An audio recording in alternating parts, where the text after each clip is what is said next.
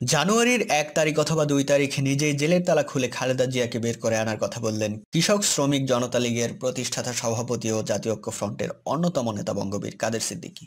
মঙ্গলবার এগারোই ডিসেম্বর রাতে টাঙ্গাইল আট আসনে ঐক্য ফ্রন্টের প্রার্থী কুরি সিদ্দিকীর নির্বাচনী পথসভায় তিনি বলেন, আপনারা খালেদা জিয়াকে জেলখানায় রেখেছেন, তাও আবার পরিত্যক্ত জেলে। জানুয়ারির এক তারিখ অথবা দুই তারিখ আমি গিয়ে তালা খুলে খালেদা জিয়াকে বের করে আনব। কাদের সিদ্দিকী বলেন, আমি মুক্তিযুদ্ধের মাধ্যমে দেশ স্বাধীন করতে পারি, বঙ্গবন্ধুর জন্য আমি যৌবন ঝরাতে পারি, কিন্তু তার কন্যা আমাকে ভোটে দাঁড়াতে দেবে না এজন্য আমরা ধানের শীষকে জাতীয় মার্কা বানিয়েছি।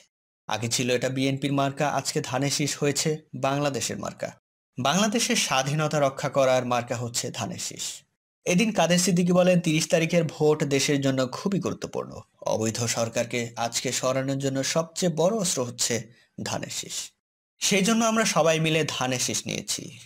ওই পথসভায় আরও উপস্থিত ছিলেন কুড়ি সিদ্দিকী, কৃষক, শ্রমিক, জনতা লীগের সাধারণ সম্পাদক হাবিবুর রহমান, তালুকদার খোকা বীর প্রতীক, বাসাইল উপজেলা বিএনপির সাবেক সভাপতি কাজী শহীদুল ইসলাম, সখীপুর উপজেলা বিএনপির সাবেক সভাপতি শেখ মোহাম্মদ হাবিব প্রমুখ বক্তব্য দেন।